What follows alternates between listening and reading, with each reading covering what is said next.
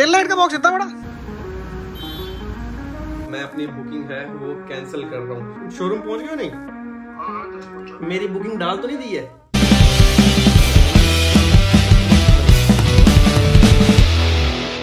नमस्कार दोस्तों तो स्वागत है फिर से आपका हमारे चैनल पे, जिसका नाम है स्मॉल टाउन राइडर अगर आप पहली बार देख रहे हैं तो चैनल को सब्सक्राइब ज़रूर कर दें। भी जो रेगुलर देखते हैं, बट सब्सक्राइब नहीं किया हुआ है तो भी आप सब्सक्राइब कर दें बिकॉज़ सब्सक्राइब करना ज़रूरी है। उससे हमें मोटिवेशन मिलती है पावर मिलती है और नए नए आइडियाज़ आते हैं। रिस्क लेने की क्षमता बढ़ती है, पैसा कहीं लगाना है, गाड़ी लेनी है समझ रहे हो? गाड़ियाँ अपनी दोनों खड़ी हुई हैं लेकिन जाने वाली कौन सी है? अभी ये रोज रोज बताने की बात थोड़ी है। फ़िलहाल क्या है कि अभी निकल तो रहा ही था लेकिन अक्षय भैया का कॉल आ गया। कह रहे एक बहुत ही भयंकर सी चीज़ आई है तेरे को दिखाता हूँ। वो गाड़ी से कार प्ले कनेक्ट हो गया था। जिमनी में वायरलेस कार प्ले आता है अगर किसी को नहीं पता तो। फिर मैंने कहा चलो निकलते हैं। उन्हीं के पास ही कुछ इंटरेस्टिंग सी चीज़ जो आई है खुद भी देखते हैं आपको भी दिखाते हैं। तो बस यही है बाकी और कुछ भी होगा तो वो भी आपको दिखाएँगे।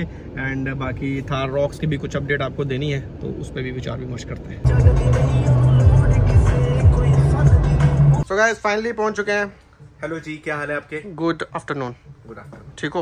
एकदम क्या ऐसी चीज़ बवाल ले आए हो जो इतना आपने जल्दी जल्दी किया हुआ अभी दिखाते हैं आपको। दिखाते हैं? बिल्कुल दिखाते हैं। मतलब ये देखो ये आपने देख लिया ना गाड़ी? इसकी टेल लाइट अच्छी है लेजेंडर वाली है सब कुछ अच्छा है। लेकिन इसको भी अगर अपग्रेड किया जा रहा है तो सोचो वो कैसी होगी। अच्छी होगी। बिल्कुल। स्मोक कलर में होगी। अच्छा? हाँ बहुत नहीं स्मोक में तो मेरे को लगता है कोई सी भी हो ना अच्छी लगती है। बहुत प्यारी लगती हाँ तो चलो देखते हैं अभी। सो जी ये टेल लाइट का डिब्बा तो अक्षय छोटा सा होता था ये टेल लाइट का क्या है? बम्पर का डिब्बा है। है ये टेल लाइट का ही बॉक्स है। टेल लाइट का बॉक्स इतना बड़ा? तो चलिए जी अब खोलते हैं इतना बड़ा बॉक्स टेल लाइट का। टेल लाइट तो दो ही होती हैं बॉक्स इतना बड़ा क्यों है? अच्छा okay guys okay okay okay now I got it तो बेसिकली फॉर्चुनर के जो इसको सेंटर वाले को क्या बोलते हैं? ये आ गया आपका सेंटर का डिक्की वाला पीस हाँ तो ये जो है इसकी जो है सेंटर में भी लाइट आती है। हालाँकि ऐसे तो ये क्रोम में ही दिया जाता है लाइट नहीं दी जाती कंपनी की तरफ़ से। लेकिन ये देखो यहाँ पे ये पूरा फॉर्चुनर करके और इसकी टेल लाइट इतनी इतनी। अच्छा ये तो बढ़िया चीज़ है। कौन सी वाली है? एलसी जब ये इंस्टॉल होगी ना तो आपको पता चलेगा। तो अभी तो क्या है कि पूरा कपड़ा वपड़ा चढ़ा हुआ है उतना आपको लुक्स वुक्स का दिख नहीं पा रहा होगा। तो एक बार ये इंस्टॉल करते हैं बताता हूँ। ये जो लंबे वाला पीस है ना ये है हाँ ये तो बढ़िया लगेगा। चलिए जी यहाँ पे गाड़ी जो है वो खुलनी स्टार्ट हो गई है ठीक है? तो इंस्टॉलेशन में थोड़ा सा टाइम जो है वो तो लगता ही है। तो ये पीछे का गत्ता खुल रहा है।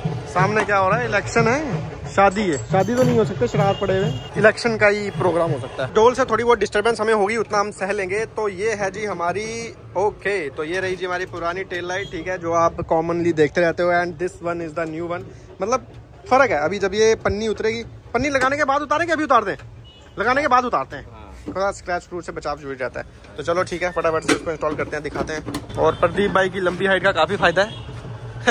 ठीक है नहीं तो ये हमें नीचे करना पड़े उतारने के लिए। चलो जी मुहूर्त निकलना। निकालना फिर पंडित जी चलो जी ये जो सेंटर वाली चीज़ है ना ये देखो ये कंपनी की तरफ़ से आती है। फॉर्चुनर लिखा हुआ है कोई इसमें लाइट वाइट कुछ नहीं होती और टेल लाइट इतनी इतनी होती है लेकिन जो हम अभी डाल रहे हैं उसमें ये पूरा का पूरा पैनल भी चेंज हो रहा है। सच भैया फॉर्चुनर की टेल लाइट में ये बल्ब भी आता है क्या? हाँ ये क्या करता है? रिवर्स नहीं लगेगा ना हाँ? सर ये लगेगा नहीं। अच्छा ये नहीं लगेगा। बल्ब निकल रहा है इसके अच्छा ओके ओके। ये फिटिंग जो आप देख रहे हो इसे कहते हैं कपलर टू कपलर। सही है? ये आ गया बाहर। हमने क्या है कि पहले जो उतारे हैं वो पाँच पीस हैं क्योंकि टेल लाइट जो है वो दो दो हिस्सों में है ठीक है? जैसे एक आधा हिस्सा यहाँ पे लगता है आधा हिस्सा वहाँ पे लगता है और एक ये बीच का क्रोम वाला। लेकिन अभी क्या है कि टोटल तीन पीस में ही जो है टेल लाइट पूरी की पूरी लग जाएगी। मेरे को पड़ गई है एक इमरजेंसी तो एमरजेंसी के तहत मुझे निकलना पड़ रहा है। अक्षय भैया फाइनल शॉट दिखा देना। फाइनल शॉट पक्का है। ठीक है? तरुण को किसी काम की वजह से कहीं जाना पड़ गया है, तो अब इसका फाइनल शॉट्स मैं आपको दिखा रहा हूँ। पार्किंग ऑन करो।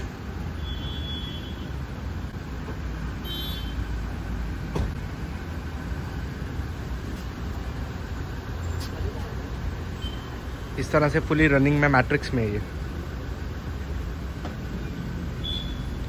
ब्रेक इंडिकेटर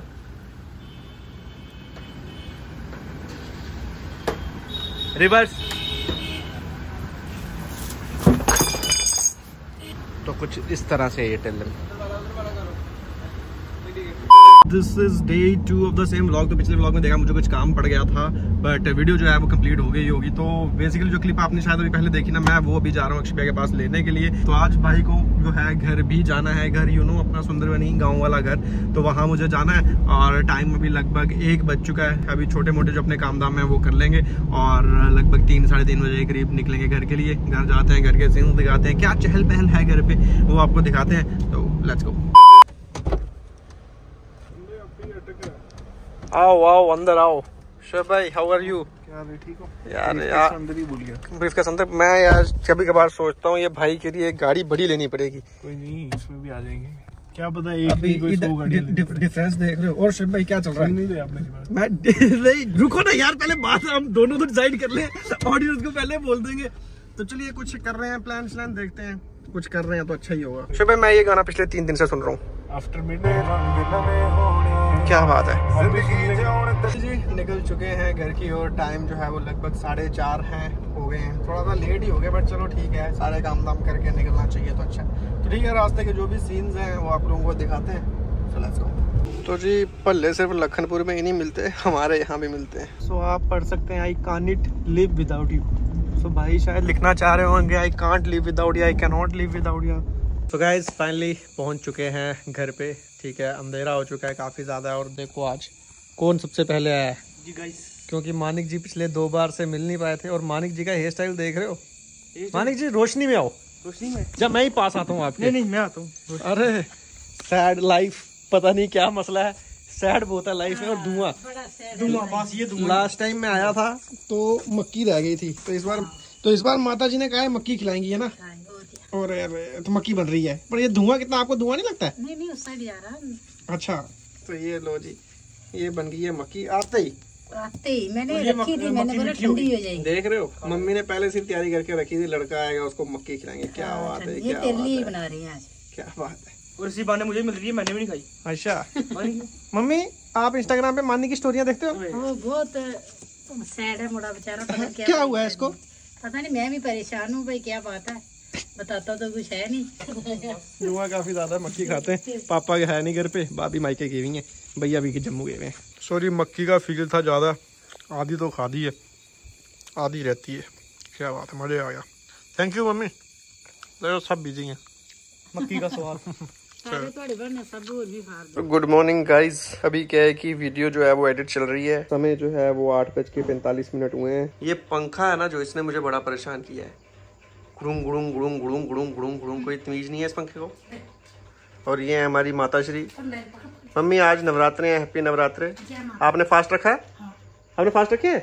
तो मुझ पापी को भी फास्ट रखवाओ ना। तो मुझे क्या है कि सुबह सुबह इन्होंने चाय बना के दे दी है। और साथ में ये दे दिया बिस्किट। वैसे मुझे याद नहीं आ रहा कि सुबह उठ के चाय बिस्किट मैंने किस दिन खाया है मतलब अब नहीं खाता हूँ मैं, पहले खाता था।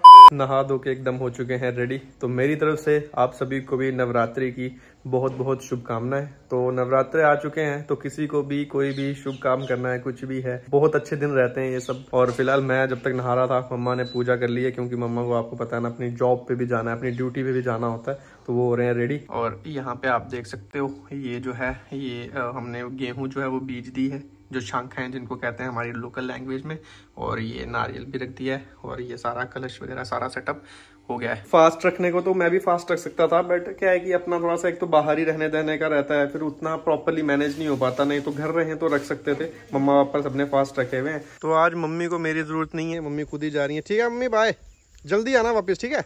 ओके। तो वैसे अब आ जाते हैं सबसे मेन चीज़ जो आप टाइटल थंबनेल में भी देख रहे हो। तो आज है तीन अक्टूबर, ठीक है? तो तीन अक्टूबर को जो आपको है पता है कि थार रॉक्स की जो ऑफिशियल बुकिंग्स हैं, वो शुरू होनी है। हालाँकि हमने एक जो है चेक वो ऑलरेडी कंपनी में दे दिया था, ताकि कंपनी जो है अपने एंड से हमारे लिए बुकिंग करेंगी। और क्योंकि कंपनी के जो है स्लॉट्स कुछ अलग भी रहेंगे, कुछ प्रेफरेंसेस भी रहेंगी तो वो अपने हिसाब से उसको डाल सकते हैं। क्योंकि हम जब अपनी बुकिंग अपने उस पर करेंगे तो देखो उसमें पूरा इंडिया जो है वो बुकिंग डाल रहा होगा समझ रहे हो आप? तो उसमें बहुत ज़्यादा कंपटीशन होगा और उसमें जल्दी जल्दी नंबर आना उतना आसान नहीं है।